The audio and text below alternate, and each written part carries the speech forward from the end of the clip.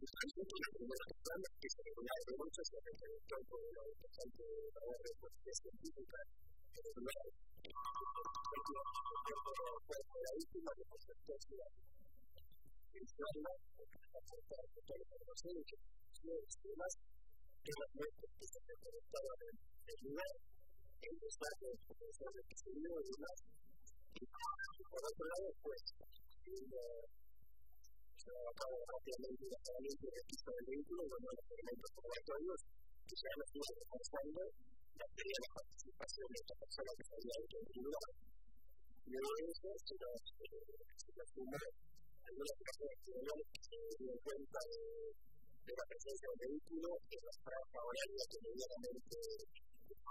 perdieron, se perdieron los que podían haber acontecido los hechos.